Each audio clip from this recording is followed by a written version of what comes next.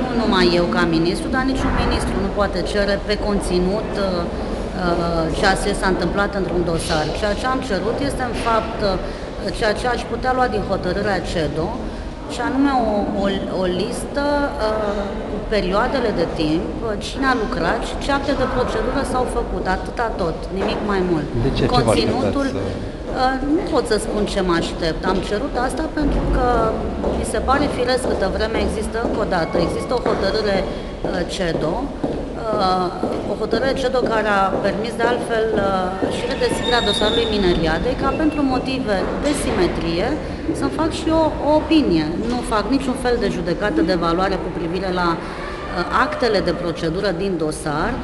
Încă o dată, insist, nu am cerut nimic pe conținut, am cerut numai anii, persoanele care au instrumentat și actele de procedură care s-au făcut.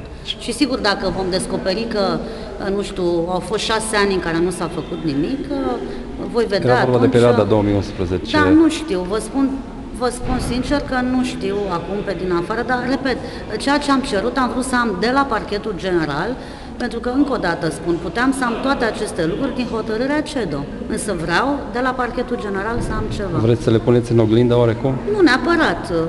Vreau pur și simplu instituțional, trebuie să ne obișnuim și în România să lucrăm instituțional și dacă vreau ceva de la o instituție, este corect și firesc să cer ceea ce vreau de la instituția uh, de la care doresc acea informație, mai cu seamă, uh, fiind vorba despre Ministerul Public, care funcționează sub autoritatea Ministrului Justiției, deci nu e nimic excepțional sau e pur și simplu de la lege și ceva foarte normal, în România și în alte state membre. Și încă ceva aș vrea.